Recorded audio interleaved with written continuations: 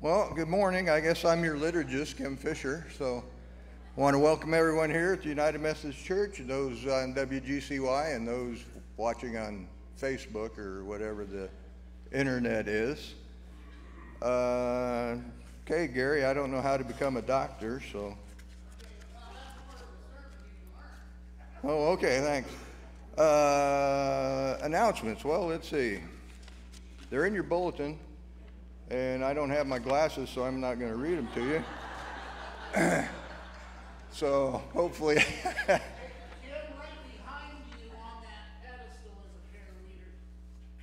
oh, thanks, Gary. They're pretty too. Okay.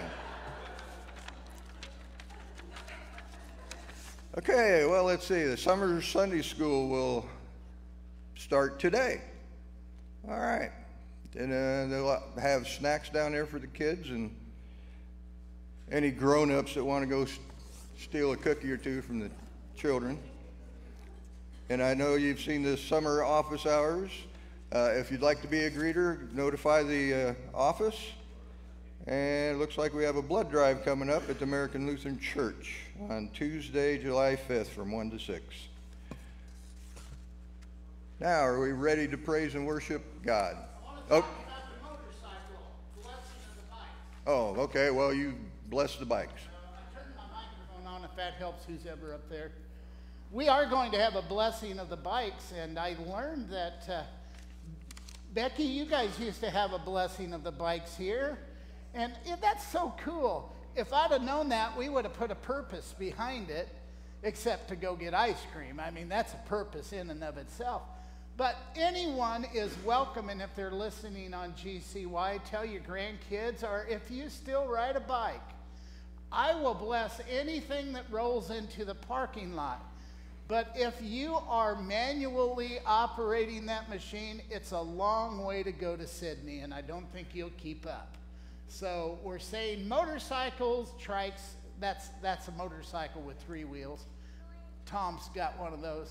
Anyway, we're going to ride down to Sidney and have ice cream, okay?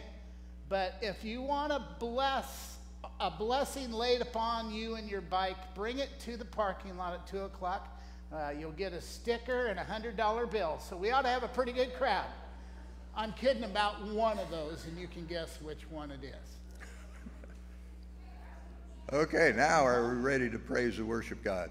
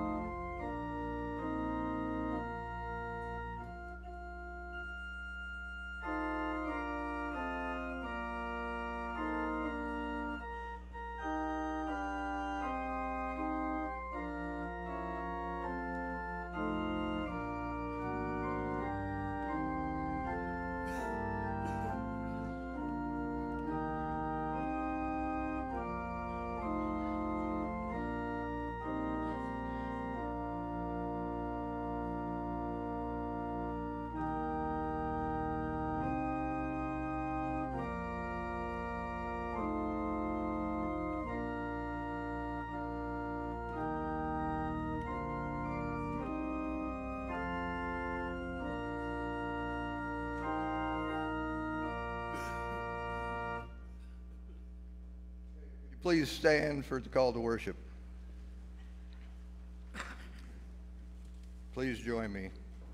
Dear God, please forgive us for all the things we have done wrong as we turn to you and turn away from our sin. And now we'll have a moment of silence, asking forgiveness for anything that you know that is keeping you away from God.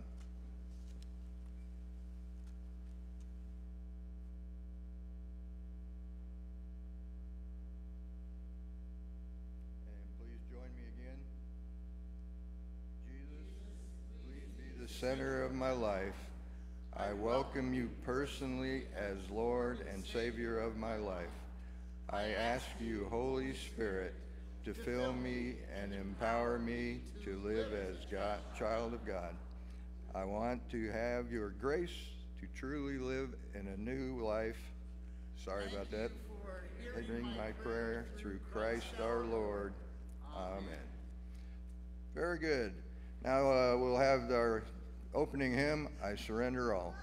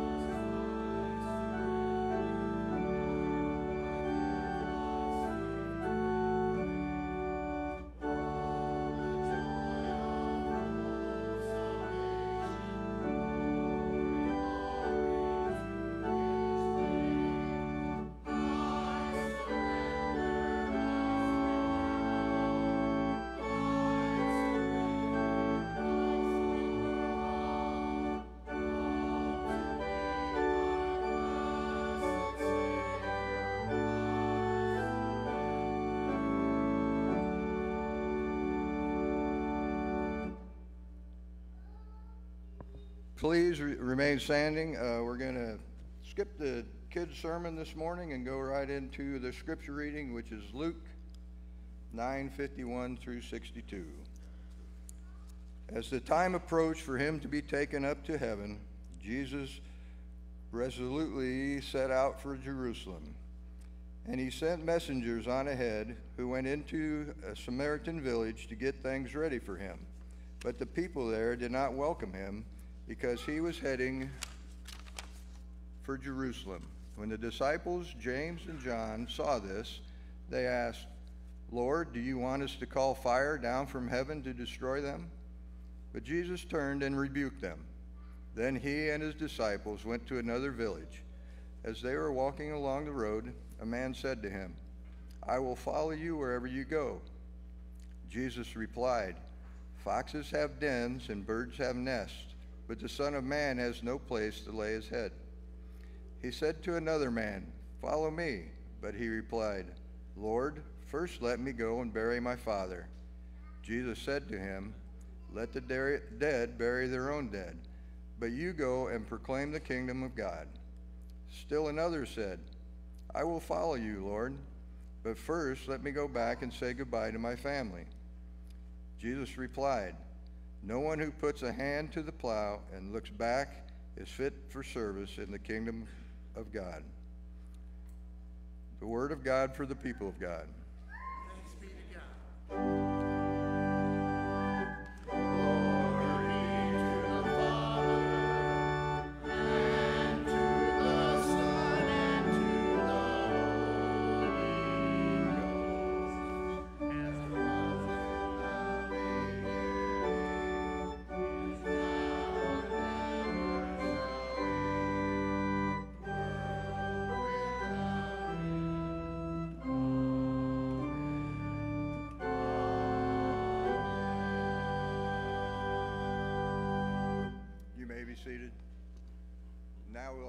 Special music by Merle McCallister. I am thankful to be singing to a forgiving congregation today. When we're done, Gary's going to ask you a question because I'm not going to give you the title of the song I'm going to sing. It was December 4th, 1956. Carl Perkins had just uh, retired to sing and record at the Sun Record Studio in Memphis, Tennessee. This was following the release of a song called Blue Suede Shoes. By chance, three other Sun associates happened by the studio that day. Their names were Elvis Presley, Jerry Lee Lewis, and Johnny Cash. An impromptu jam session evolved when the four met that day. Carl Perkins, uh, engineer, sound engineer, left all the mics on and recorded at least 47 tracks that day, two of which were written by Cleavant Derricks. You may be familiar with one of his songs, which is Have a Little Talk with Jesus. I'm going to sing the lesser known hymn that he wrote.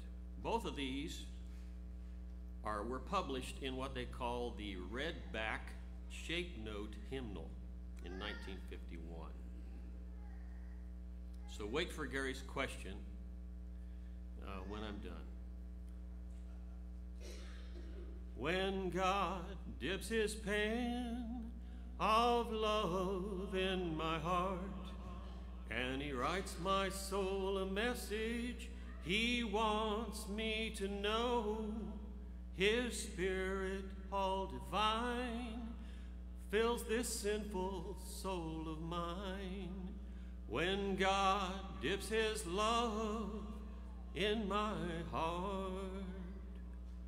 Well, I said I wouldn't tell it to a living soul how he brought salvation and he made me whole, but I found I couldn't hide such love as Jesus did impart. Well, he made me laugh and he made me cry, set my sinful soul on fire when God dips his love in my heart. Well, sometimes though the way is dreary, dark, and cold, and some unburdened sorrow keeps me from the goal, I go to God in prayer. I can always find Him there when He whispers sweet peace to my soul. Well, I said I wouldn't tell it to a living soul how he brought salvation and he made me whole, but I found I couldn't hide such love as Jesus did impart. Well, he made me laugh and he made me cry, set my sinful soul on fire when God dips his love in my heart. He walked up every step of Calvary's rugged way, and he gave his life completely to give a better day.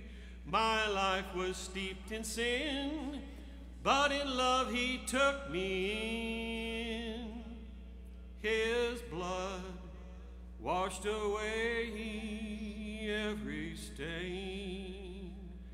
And I said I wouldn't tell it to a living soul how he brought salvation and he made me whole, but I found I couldn't hide such love as Jesus did impart. He made me laugh and he made me cry, set my sinful soul on fire. When God dips his love, his sweet love in my heart.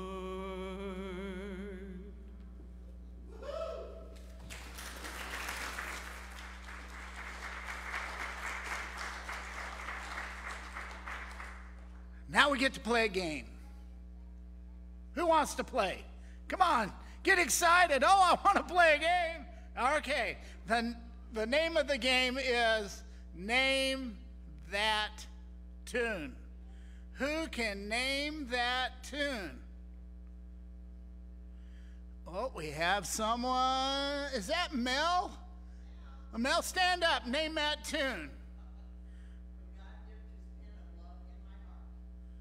Is she correct? Wow! Ding, ding, ding, ding, ding. Mel won. Oh, yeah! Now, how did you know that?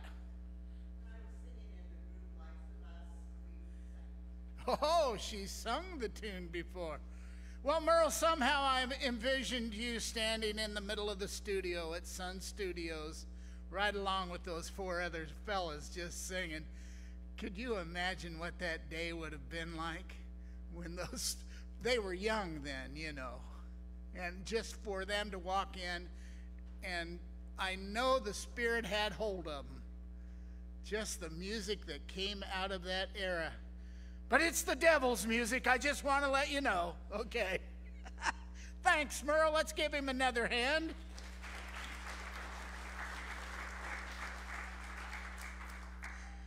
My message today is no if and buts or maybes. How many of you heard that before? How many of you live by that? No if and buts or maybes. That's a definitive statement.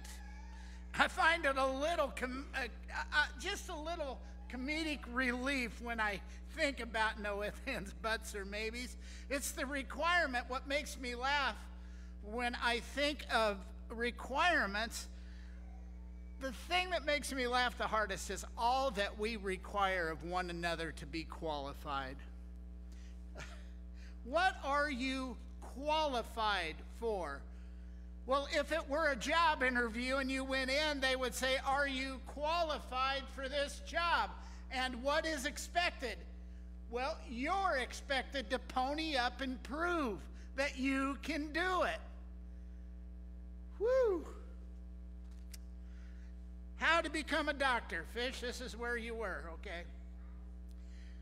Step one, complete an undergraduate degree. Step two, pass the MCAT examination. Okay? Number three, apply to medical school. Complete training at a medical school. Step five, pass parts one and two of the United States Medical Licensing Examination. Step six, match that with residency. Step seven, graduate from medical school and start residency. Step eight, pass all the parts of the United States medical licensing examination and final finish your residency.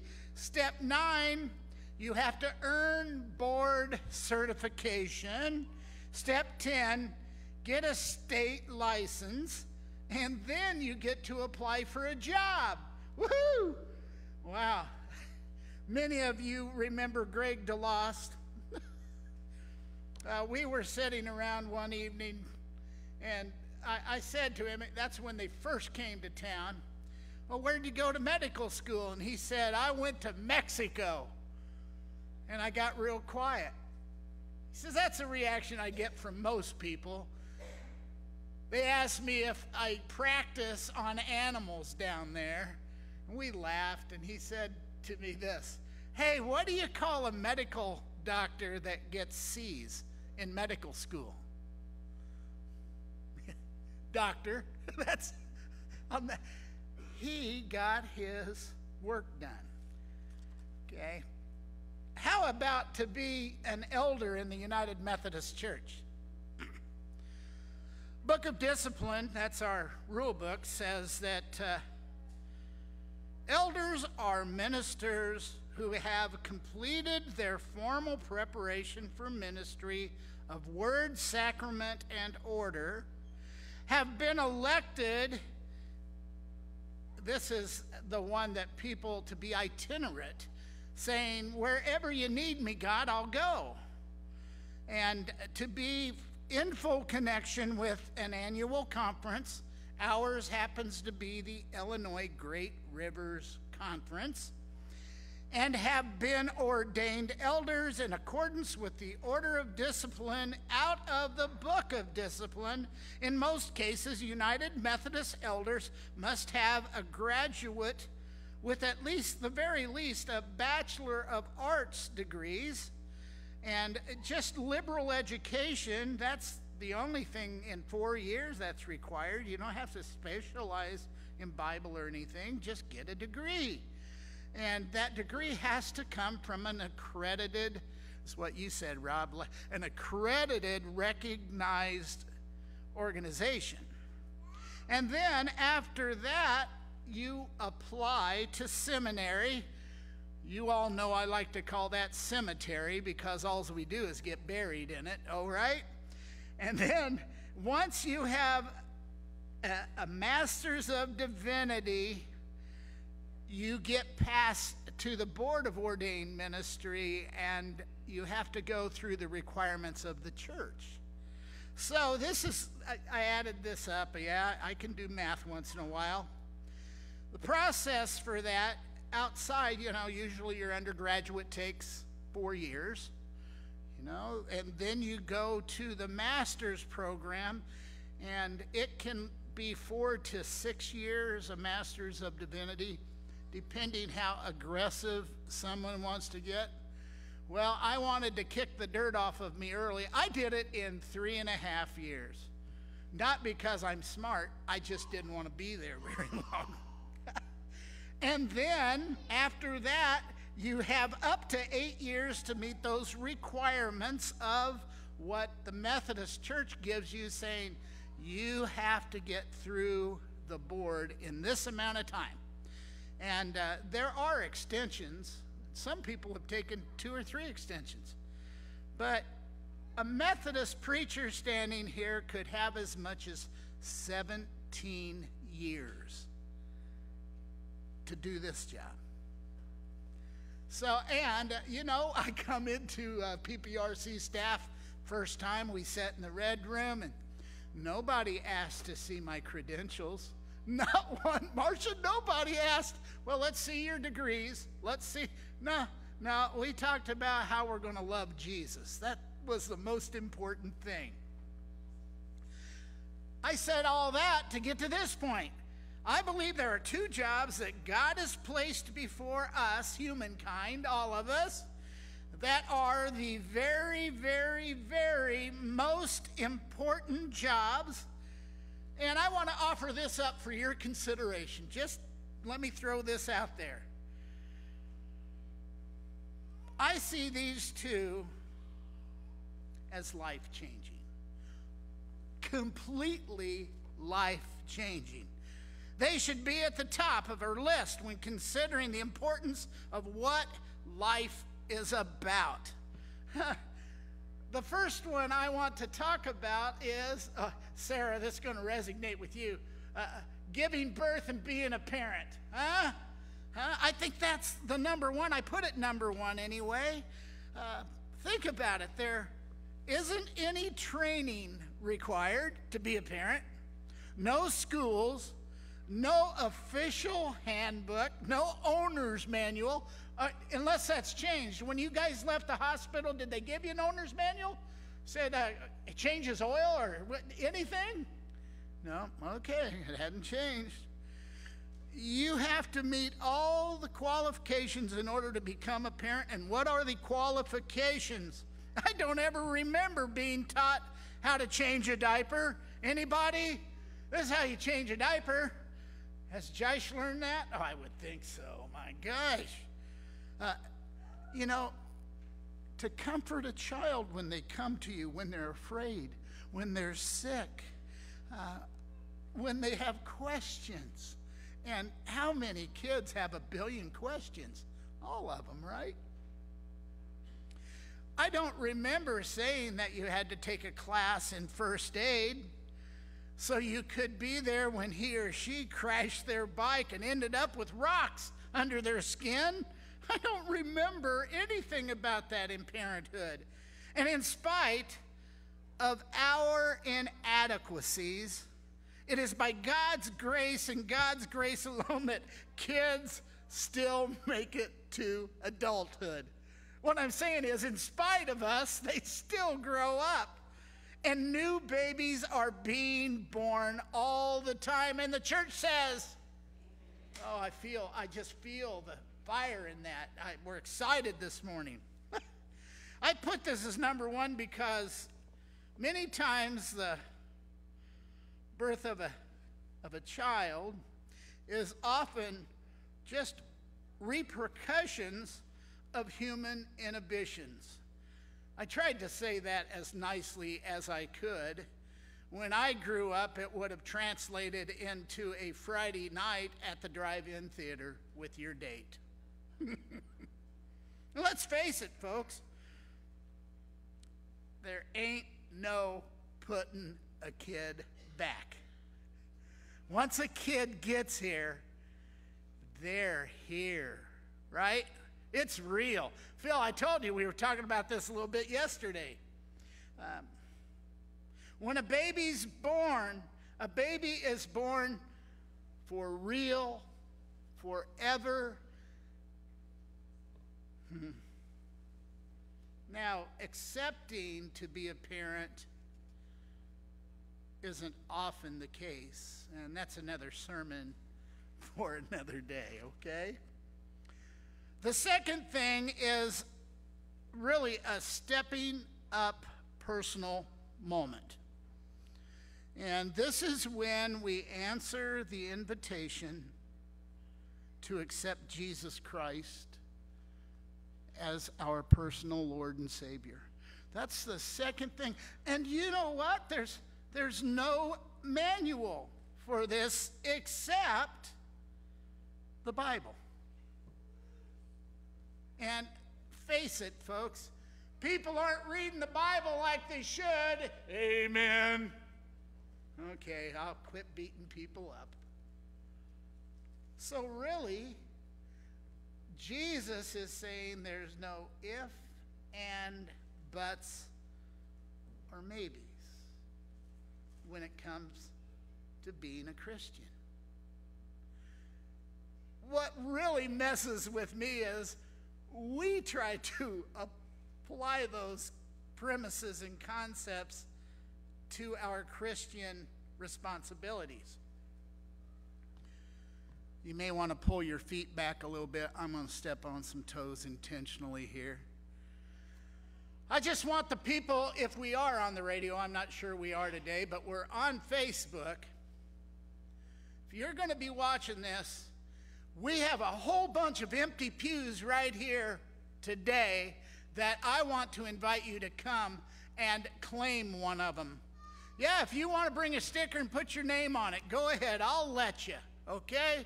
I think there's enough seats here for what would you guess? Another 150 or 200 people. Your Christian commitment. What are we called to do? Jesus says there's no if, and, buts, or maybes.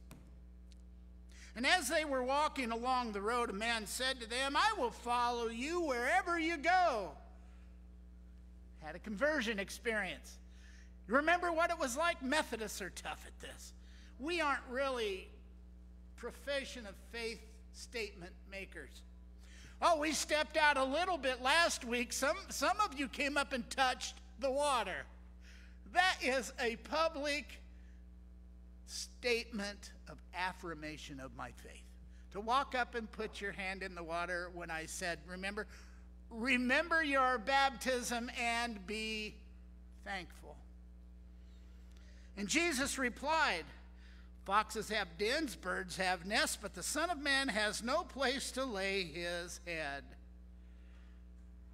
I think as a statement to, do you really know what you're getting into? That first one points to the itineracy of a United Methodist elder in this church.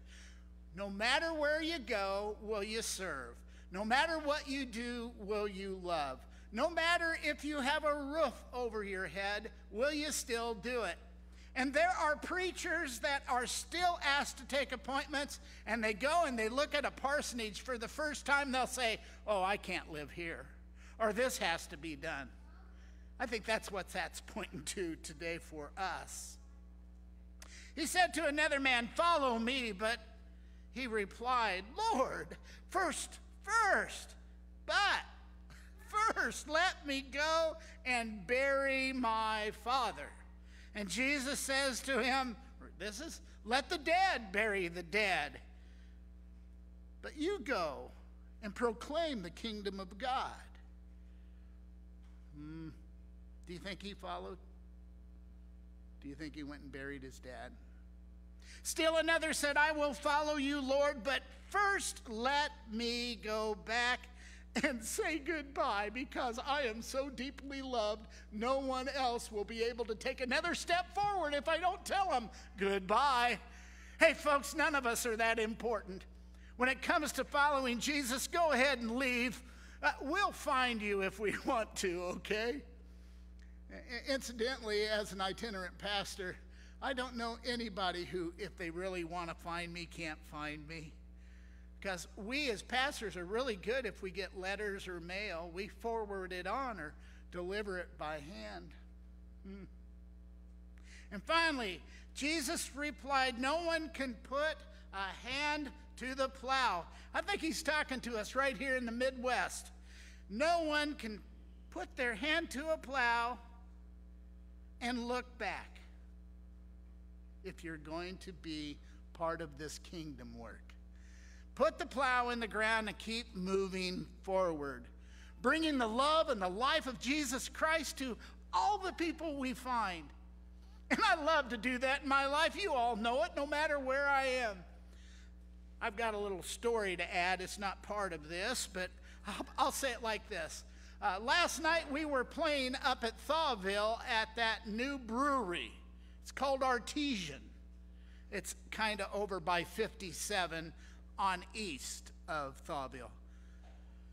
And there were some people we know there from the Loda United Methodist Church. And just for fun, we say this uh, the more you drink, the better we sound, so everybody have another round.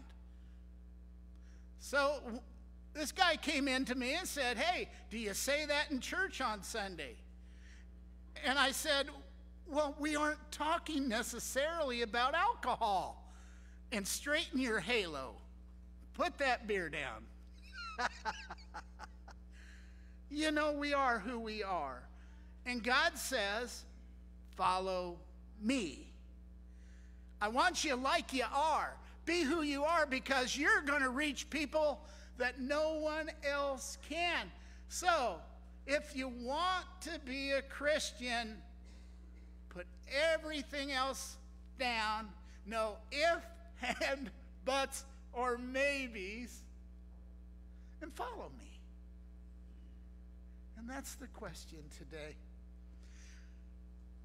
Karen, are you back? Uh, well, this was my part where I was going to ask Karen to introduce our guest this morning. But Rob, come on up here, and I, I tell you what, I'll try my very best.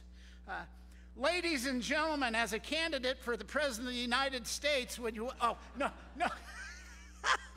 ah, just kidding you. But Rob comes to us from across the drink. Is that safe? Yeah, but it's pretty dry where you are? It is. It is, huh?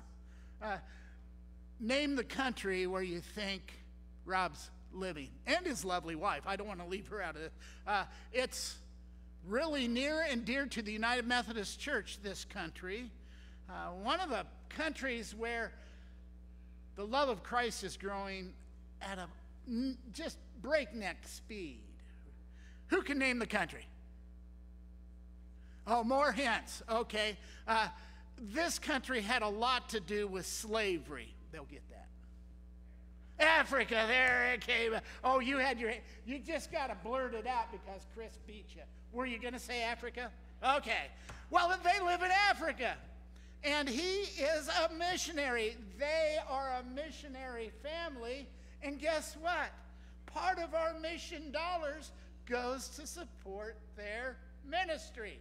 So get a $100 bill out. We're going to have a special offering right after this. Oh, no, no, we're not. But, uh, Rob, thanks for being, and I'm going to turn the microphone over to you. Well, I first want to say thank you. We have been on the mission field for 14 years, uh, going on 15, and you have supported us through the entire time. And without your support, we could not do what we're doing. And what we are doing is um, right now, I am a superintendent of a series of schools in Senegal, West Africa, and we're expanding. And so uh, we have um, schoolhouses now in Guinea and in Liberia. And our purpose and mission is one, to provide an, a place for education for missionary kids. So, one of the biggest barriers for people going and doing missions is education. They won't go to the field unless they can educate their kids. So, some homeschool, uh, but many don't have that gift or want a more robust education for their kids, um, so they want a school to go in. And uh, the traditional model would used to be where they would send uh, missionaries would send their kids to a boarding school to board um, in, in a region like so. West Africa would have one main missionary school, and they would send their kids away to that. Well, boarding is no longer. Most parents don't feel comfortable sending their kids away. So we are in the process of building schools in every major city in West Africa so that missionaries can serve wherever they feel called to serve. And additionally, we found that to do that well, we need to invite the communities we're part of in. So we're inviting the business community, the embassy community, the United Nations community in to serve with us. And the neat part about that, I'm located in a country that's 90 Senegal, Senegal, where we are located, is 90% Muslim. And as we have them into our school and they fall in love with Jesus, um, we, we find about uh, a good portion of those will give their lives to Christ if they come to us at elementary school. And I want to tell you one story of how that happens. Um, recently, um, several our PE teacher got together with our health teacher, and they wanted to demonstrate, you know, the price that Christ had to pay uh, for us. And so they gave out, they were going to give out a cupcake to every student. There were 31 kids in the class. And they said, We're going to give you a cupcake. But to give you that cupcake, our PE teacher has to do 10 push ups. and so for every cupcake he, they gave out, he would do 10 push ups. Well, there were 31 kids in the class. So he did and ended up doing 310 push ups. All at one time? All at one time. Whoa! Without, I mean, you know, there was, yeah, no break in between. He did, he did the, the and so by the time he gets the last 30, 40 push ups, they could see the pain, they could see the sweat, and see, they would hand out the cupcake right after he got done with 10. So every 10, they would give a cupcake. And the point was the price that had to be paid for the cupcake. And of course, they made that, that same point of how much Christ, infinitely more, Christ had to pay to give us grace. And that grace, what, what a lot of students wrote after that, that, that experiment took place, is for the first time we see the price Christ had to pay for our sins, that it was costly, that it wasn't cheap. In fact, a Muslim student said, I never knew grace cost so much. And so that's the, why we exist, is we exist to tell people about Jesus, and we think education is one of the best ways to do that. When people go to a school and they're loved by the teacher and the teacher loves Jesus, the student loves Jesus. And uh, we see that all the time where our students, because the teacher loves Jesus, they start falling in love with Jesus. And one last story, and then um, I'll leave you. We, we had uh, the Omani, we, we served the, like I said, embassy kids, and we had the Omani ambassador come in, and he was saying, um, I want to send my kid to your school. You have a good, uh, we had a special needs program, and his, and his son was special needs, and he says, I want to send my kid, but you got to promise me you won't tell our son about Jesus. I said, Well, that's why we exist. So if you want to send your kid to our school, we're, gonna, we're a Christian school. Well, he reluctantly sent his kid to our school. And about two years later, he comes in he says, I have a major problem. Your school's wonderful. I couldn't ask for more. The teachers really care for my son. He's really making progress like we've never seen before. But he's telling me he loves Jesus. And he says, I'm going to pull him from our school unless you stop that right now. And I said, No, we exist to be a Christian school. So he pulled his kid and went to another school. And two weeks he comes back. And he said, My wife said I had to bring my son back because there's no one who loves our son like your school does.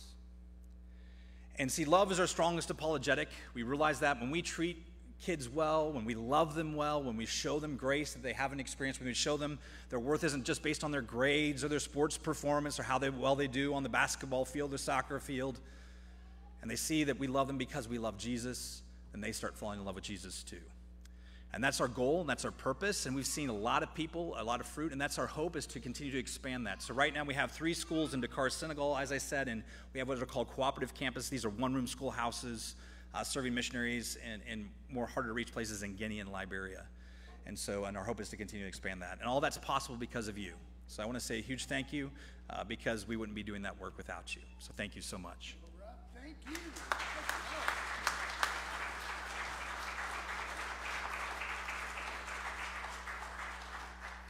How many of you have met Rob before? Raise your hands. Let's just see.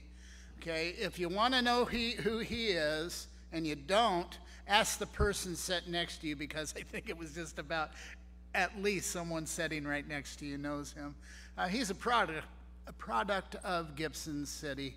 Went to school here, uh, has classmates, has friends here.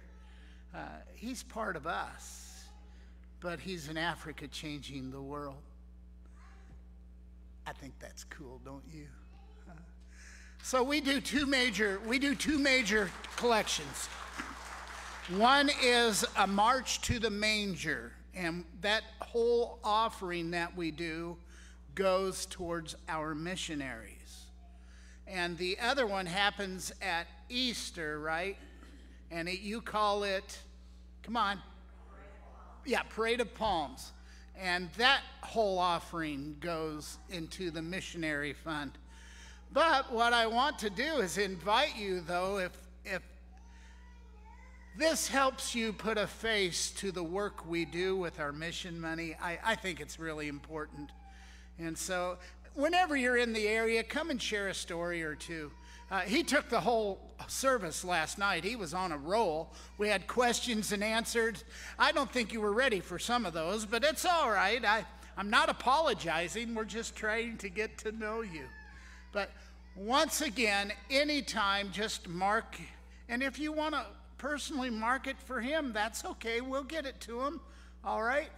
They have a wonderful mission because we are a mission driven church. Amen. Let's give God the praise and glory. Come on.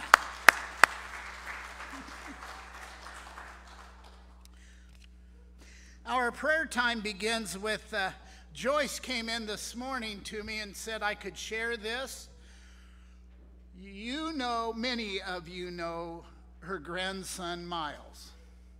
Miles was hit by a car and is down in the hospital at Carle right now, facing procedures to mend him back together. And so I would ask you to keep in your prayer Miles and his entire family. Also, the individual that was involved in the accident. I know so many times we need to pray for the whole situation. So let's give that to God this morning. I have permission to share that uh, uh, Chris had told me that she was going to have to take care of Jim by putting his IVs in. It takes uh, probably the better part of an afternoon or morning to get the IVs to go in. But in order for them to go home, there had to be someone who could do it, and she's qualified. So, Jim, I, know, I hope you're listening, and maybe if not, you'll watch on Facebook. Our prayers today go up for you as well for health and healing. They had to reopen where his knee replacement was and uh, clean everything out, but we're hoping he's on the road to recovery. Amen, people. Yeah, I, I don't ask for prayer concerns here. Uh, we have too much open media, and I don't want to put anyone on the spot. Uh, unless it would be Jeff. I don't mind putting him on the spot. So, yeah. all, all right. But I have to mention uh, we celebrate good things that go on. And yesterday, thank you to everyone who came and helped spiffy up the place. We had tons of help.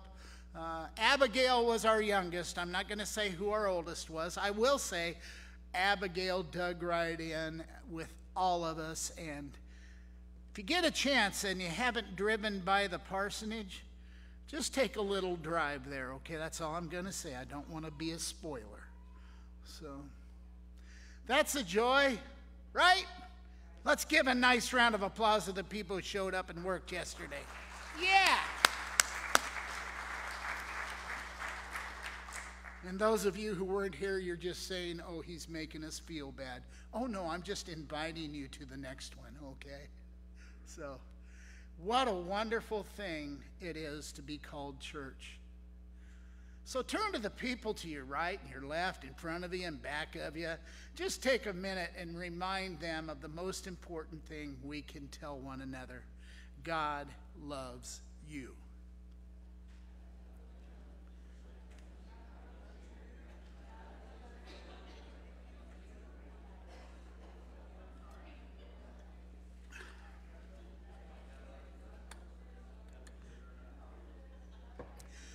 As we center in, I'm going to ask Bev to play a little song to help us center in our prayer, and we'll continue with a pastoral prayer ending with the Lord's Prayer. Let's be in prayer.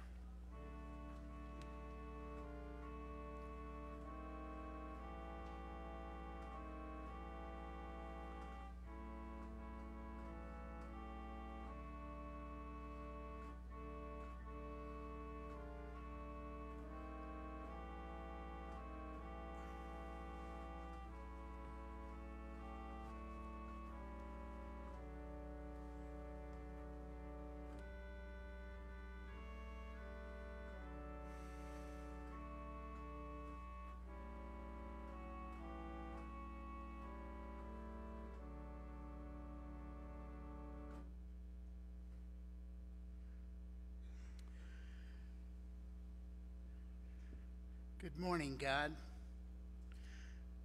Thank you for this moment.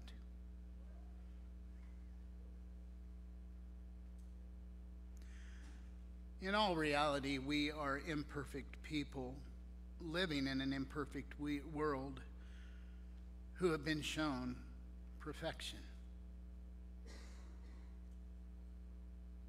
That perfection comes in the form of love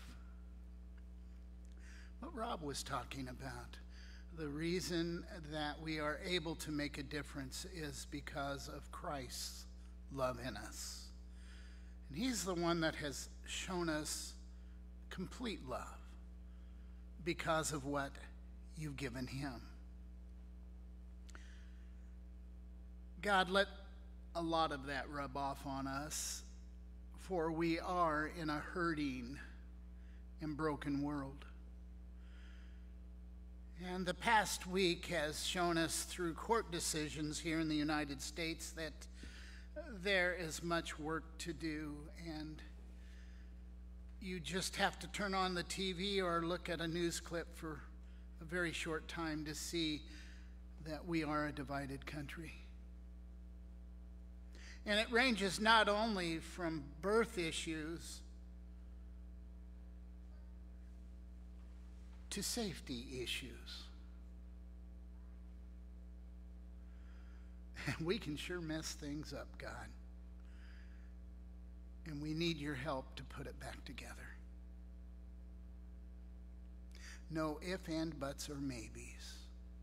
We need to love you more deeply, follow you more closely, and listen to your voice so clarity can come through and show us our way, that your way will be the world. I lift up the folks that we have prayers for, the ones that uh, I spoke their names out loud, but I know there are people in here who are dealing with medical issues, dealing with new financial issues that this week has introduced them to. I know there are family issues, and I know that the way that we will be able to come together is by bringing you to the forefront. So I pray that in all the lives of everyone who is struggling today, that the first thing we do instead of thinking about how bad it is, realizing how good it is because you are in us. And when we center and place everything at the foot of your cross, you show us ways to manage and to manage and overcome. And I thank you that you are our God of love, giving us hope and allowing us to know peace. There's a prayer that unites us all, each and every one, all around the world. And this morning we come and we share it openly as we listen to one another and we give our hearts to you when we pray like this Our Father, who art in heaven, hallowed be thy name. Thy kingdom come, thy will be done on earth as it is in heaven. Give us this day our daily bread, and forgive us our trespasses, as we forgive those who trespass against us. Lead us not into temptation, but deliver us from evil. For thine is the kingdom, and the power, and the glory forever. Amen. I'd love to invite the ushers to run up here. Well, oh, I don't think that's going to happen.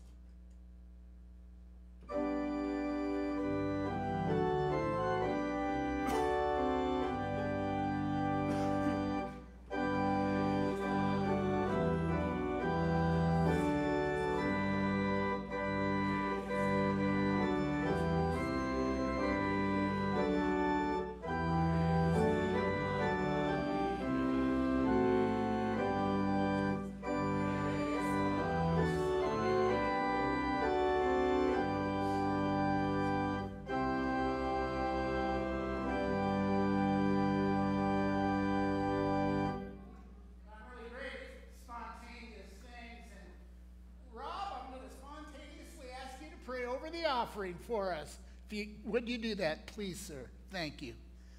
God, I thank you for the generosity of people here. I pray that you would give even more generous hearts because of how generous you have been to us. Lord, I thank you for this congregation and I help them to love each other well, continually show that through their generosity, not just of money, but of service time. And I thank and pray thank you for this congregation of people loving each other and most of all loving you. In your name we pray. Oh, man. Thank you. I thought you could do it. well, you ready to sing? I mean, we don't have to. I, it's up to you all. I'm trying to get you cranking. We had over an inch of rain. Somebody should be going, woohoo! Yeah. I asked Merle, I said, Merle, was that a million dollar rain? And Merle says, much more. so let's celebrate by singing. Oh, I love this song. Sing it like you know it, and if you don't, sing louder.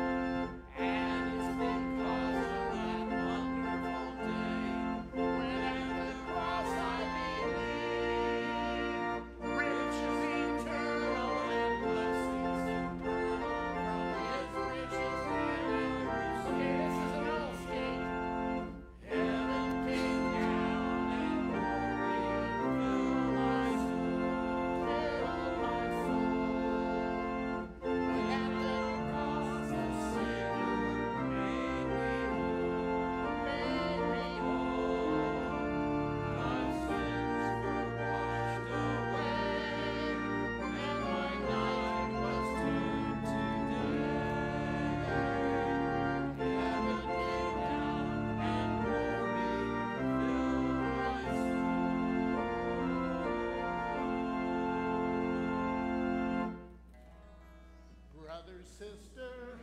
Let me serve you. Let me be as Christ to you. Pray that I may have the grace to let you be my servant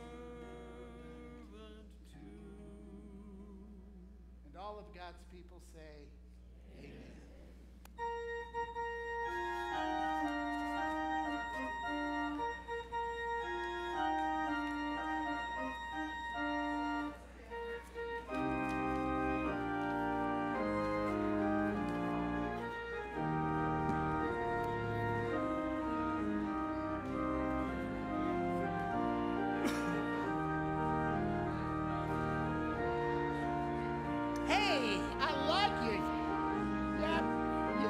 Today.